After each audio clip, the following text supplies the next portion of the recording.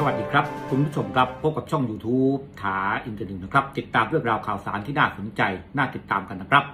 เป็นความเคลื่อนไหวของคุณอัสดางยงมนาคนะครับ เขียน Facebook เอาไว้ ในช่วงค่ำของวันที่ 11 เดือนพฤศจิกายน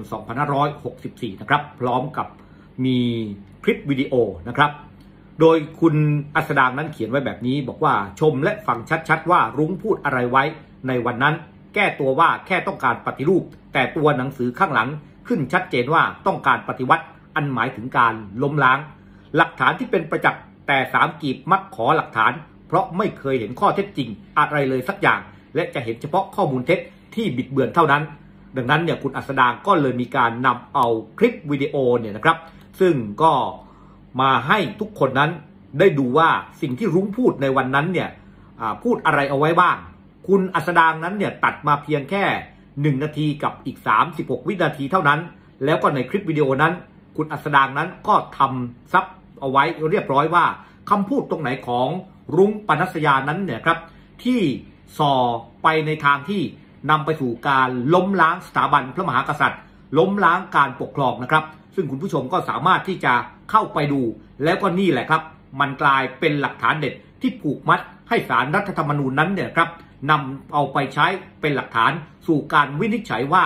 รุ้งปนัสยาสิทธิจิรวัฒนกุล อานนท์นำพา แล้วไม้พานุพงษ์จาดนอกนั้นเนี่ยครับ เคลื่อนไหว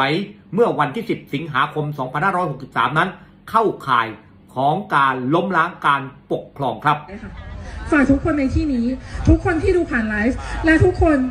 ที่อยู่ในรัฐสภานั่นที่อยู่รัฐบาลบรมสารุวงศ์ทุกคนว่า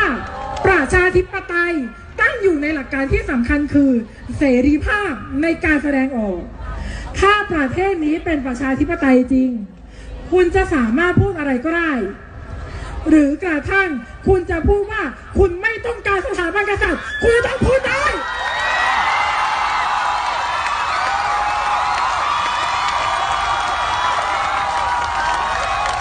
ทุกคนคะ เรื่องธรรมดา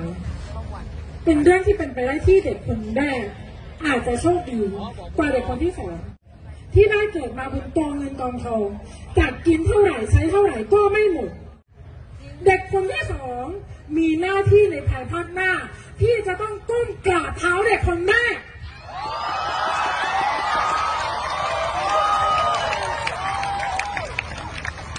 สมัยก่อนค่ะทุกคน มันจะมีคำที่ หลอกกันว่า ผู้ที่เกิดในราชวงศ์เนี่ย เป็นเทพเทวดามาเกิด ด้วยความเคารพอย่างสูงนะคะถามหัวใจอันบริสุทธิ์ของท่านเองดีๆ แน่ใจจริง ๆ แล้วใช่ไหมว่า เทพมีนิสัยใจคอเช่นนี้